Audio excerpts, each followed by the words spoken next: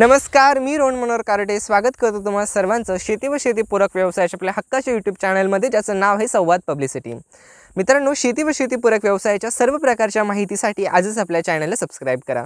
मित्रांनो आज खरं तर आपण एका महिन्यानंतर भेटत आहोत. कारण की हा मागील एक महिना हा माझ्यासाठी अत्यंत धावपळीचा होता म्हणून आपल्यासाठी व्हिडिओ बनवता आले नाही यासाठी दिलगिरी व्यक्त करतो. मागील एक महिना आपण एका विशेष आयडियावरती काम करतो व ही संकल्पना आज मी तुम्हाला दाखवणार आहोत. मित्रांनो आज फार थोड्याच कालावधीत आपण आपलं स्वतःचं शेळी पालनाचा प्रकल्प सुरू करत आहोत.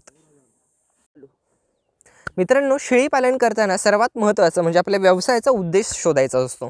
मग तुम्ही शेळीपालन हा पठणासाठी करताय दुधासाठी करतायत किंवा मांस उत्पादनासाठी करतायत किंवा तुमचा अन्य काही त्यामागचा उद्देश आहे का हा ठरवला जातो. शेळीपालनाच्या उद्देशानुसार शेळीपालनासाठीच्या उपयुक्त अशा जाती शोधल्या जातात. आणि मग त्यानंतर जो महत्त्वाचा तिसरा प्रश्न येतो तो म्हणजे शेळ्या शेळ्यांसाठीचा निवारा म्हणजे शेड. व हीच ह्या शेडचंच बांधकाम आज आपल्या इथे ठिकाणी चालू आहे. मुळात शेळीपालनामध्ये शेड बांधल्यानंतर जितकी दाखवली जाते त्यात ती तिचं बांधकाम कसं केलं जातं हे समजणं जरा अवघड पडतं. म्हणूनच आपण तुम्हाला ही शेड अगदी बांधकामाच्या सुरुवातीच्या टप्प्यापासून दाखवत सो जेणेकरून ज्यावेळेस तुम्ही तुमच्या शेळीपालनाला सुरुवात कराल त्यावेळेस तुमची शेड बांधताना याच्यातील काही टिप्सचा तुम्हाला निश्चितच उपयोग होईल. ह्याच अशाच महत्त्वाच्या टिप्ससाठी हा व्हिडिओ शेवटपर्यंत नक्की बघा. मित्रांनो शेड बांधताना सर्वात महत्त्वाची जी गोष्ट लक्षात घेतली जाते ती म्हणजे जागा. जागा अशी निवडायची तुम्हाला की जी उत्तम निचऱ्याची हवी जिथे पावसाचं पाणी साचणार नाही अशी जागा शेळी पालनाच्या शेडसाठी सर्वात उपयुक्त असते. मित्रांनो त्यानंतर शेडची लांबी आणि रुंदी हा महत्त्वाचा प्रश्न येतो. ह्या भागामध्ये आम्ही कर्जत रायगड भागामध्ये काम करतो. इकडे पावसाचं प्रमाण खूप जास्त असतं.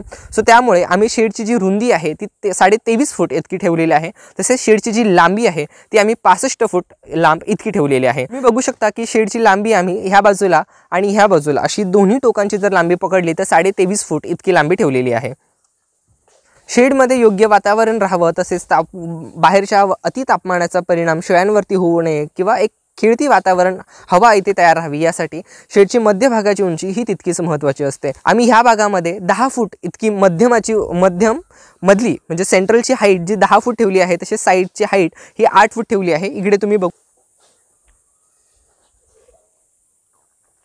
ओके मित्रांनो पिलरची सव्वा तीन फूट म्हणजे एक मीटरपर्यंत हाईट आहे ती आम्हाला एक भिंत रचायची आहे. सो जेणेकरून उन्हापासून वाऱ्यापासून शेळ्यांचं संरक्षण व्हावं. तसेच इतर जी वरची आहे हा पिलर पूर्ण अजून बांधला गेलेला नाही आहे याच्यामध्ये लोखंडाचे टी शेपचे रॉड टाकून आम्हाला पुढे वेल्ड करायचं आहे जेणेकरून वाहत्या वाऱ्यामध्ये किंवा मोठ्या सोसायट्याचा जरी वारा आला तरी त्याने शेडला इतर काही धोका होणार नाही. यासाठी आम्ही वरती टीचे करतो म्हणून यांचं बांधकाम अर्ध आहे. आता उद्या ते बांधकाम पूर्ण होणार आहे. ह्या साईडला आपल्या साईड वॉलचं काम चालू आहे. सो ही एक मीटर उंचीपर्यंत आम्ही भिंत रचून घेतलेली आहे. सव्वा तीन फूटपर्यंत हिची उंची असते.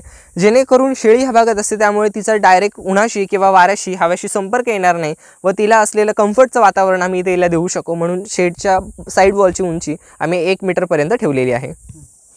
मित्रांनो शेळ्यांचं मलमूत्रचं विसर्जन प्रॉपर व्हावं किंवा शेडमध्ये जास्त ओलावा राहू नये म्हणून आम्ही कोब्याचा विचार केला आहे.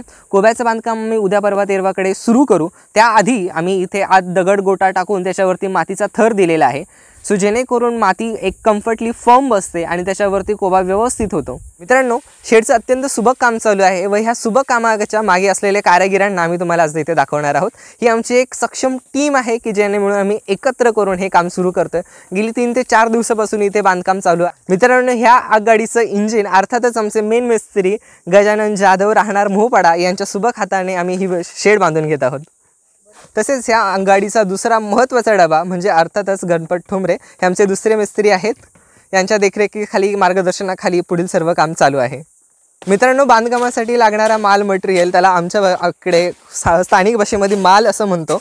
आणि हे जिथे कालवलं जातं आहे किंवा हे सगळं संमिश्रण जिथे केलं जातं आहे त्याला डेपो असं म्हटलं जातात. व यासाठी अत्यंत कुशल माणसाचे हात लागतात. आणि हे आमचे नाना दिनेश कारोटे इथे आपल्याला माल कालवताना दिसत आहे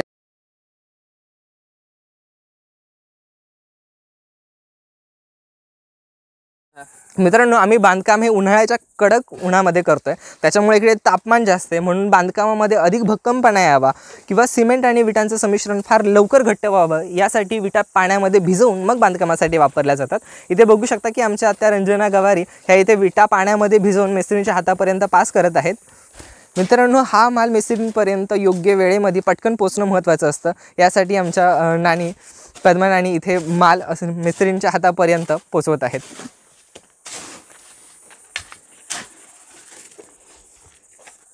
मित्रांनो बांधकामाकडे जातीने लक्ष देणं ही तितकंच महत्त्वाचं काम असतं. म्हणून आमच्या मा खुद्द मातोश्री स्वतः इथे सुपरवायझिंगचं काम करताना.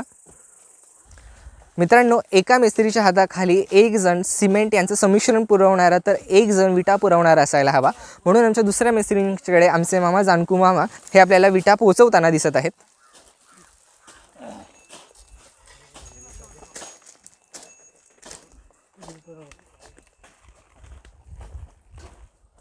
ओके. मित्रांनो हे एका बाजूचं फाउंडेशन आहे. आमची जागा ही लेवल नव्हती. त्यामुळे फाउंडेशनची लेवल करण्यासाठी एक बाजूकडे जास्त झुकाव आलेला आहे.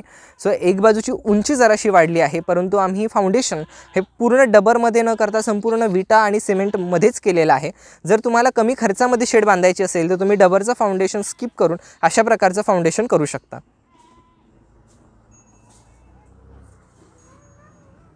बांधकाम करताना सगळ्यात महत्त्वाचा जो अडचण येते ती म्हणजे की येणाऱ्या बांधकामासाठी लागणारं जे पाणी आहे ते आपण एवढं साठवणूक कशी करायची? म्हणून यासाठी आम्ही एक खड्डा तयार केला आहे. याच्यामध्ये पहिल्यांदा तर आम्ही ताडपत्री टाकली आणि यानंतर आम्ही त्यावरती प्लास्टिकचं कापड आच्छादन केलेलं आहे. सो जेणेकरून प्लास्टिकच्या कापडातनं पाणी पाझरत नाही व आपण हवे तितके दिवस याच्यामध्ये जसे तसं स्टोअर करून ठेवू शकतो. सो एकंदरीत याच्यामध्ये दीड हजार लिटर कॅपॅसिटीचा आम्ही ते खड्डा तयार केला आहे. सो बांधकामासाठी लागणारं सगळं पाणी आम्ही इथे याच्यामध्ये साठवून ठेवतो.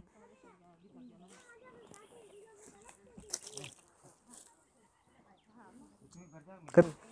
मित्रांनो शेडचं ज्यावेळेस पूर्ण बांधकाम होईल त्यावेळेस आम्ही पुन्हा एकदा तुम्हाला नव्याने शेड दाखवण्याचा प्रयत्न नक्कीच करू. तोपर्यंत शेती व शेतीपूरक व्यवसायाच्या सर्व प्रकारच्या माहितीसाठी आजच आपल्या चॅनलला सबस्क्राईब करा व बाजूची नोटिफिकेशन बेल दाबायला विसरू नका. जेणेकरून आमच्या नवीन नवीन व्हिडिओची अपडेट सर्वात आधी मिळतील तुमच्यापर्यंत. मित्रांनो जर तुम्हाला शेतीपूरक व्यवसायाबद्दल काही मार्गदर्शन हवं असेल किंवा काही प्रश्न असतील तुम्ही Instagram Twitter Facebook LinkedIn या विविध सोशल मीडियाच्या माध्यमातून आमच्यापर्यंत प्रश्न पोहोचवू शकतात. तुम्हाला शक्य तितकी मदत करण्याचा प्रयत्न आम्ही निश्चितच करूयात. तर मित्रांनो लवकरच भेटूयात नव्या व्हिडिओसह. तोपर्यंत जय हिंद जय महाराष्ट्र.